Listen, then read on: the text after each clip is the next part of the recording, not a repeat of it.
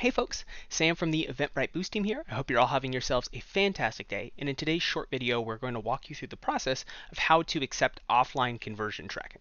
Now, quickly, what offline conversion tracking is, think of it as a safety net to help you capture purchases that result from your ad campaigns that might not necessarily be tracked via your Facebook pixel. It's an amazing, unique feature to Eventbrite Boost that's really going to help you understand how your ad dollars are actually translating to ticket sales after the aftermath of the Apple iOS 14 updates and how that's impacted Facebook advertising.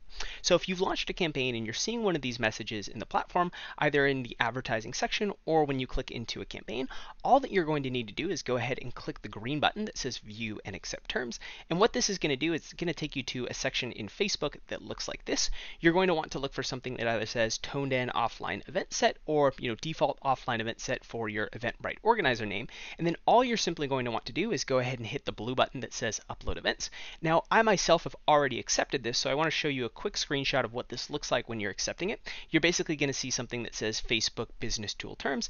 Just go ahead and click that accept button, and after you click that accept button, it's going to take you back to this page right here that says, you know, select CSV file or upload. Don't worry about this. This is actually automatically handled on the backend, and the only thing that you actually need to be doing is just hitting accept once this prompt appears.